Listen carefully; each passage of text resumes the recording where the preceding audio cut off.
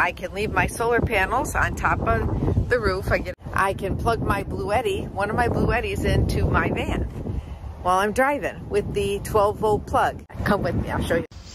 Whether I'm camping on the Straits of Michigan at the Mackinac Bridge or in the desert on Christmas morning in Arizona, Quartzsite. Charging my Bluetti panels. Yeah, everything's in that book. What tells you how many watts it is, how many, you know, it's 600 watts of power, and everything you need to know. You can see this model has two USBs and one USB-C, which is great. It also has a light. Well, there goes. Ah!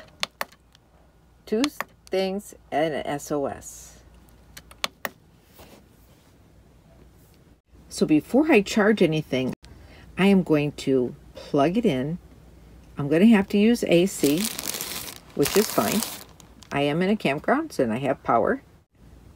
I'm going to charge it up before I demonstrate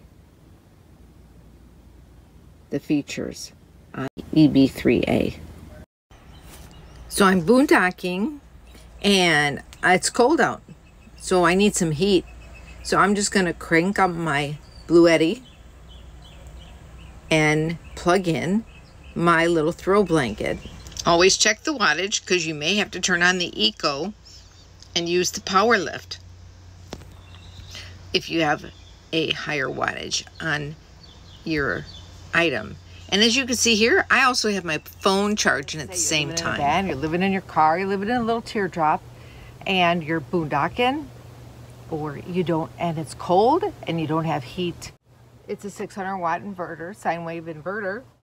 So I had to get the app, and the first thing I did on the app was go into, you know, the Bluetooth, get signed in, and go to the settings page and then that's where I will turn on my eco and then to, after eco you got to go and turn on the turbo check out these pages that I put in there for you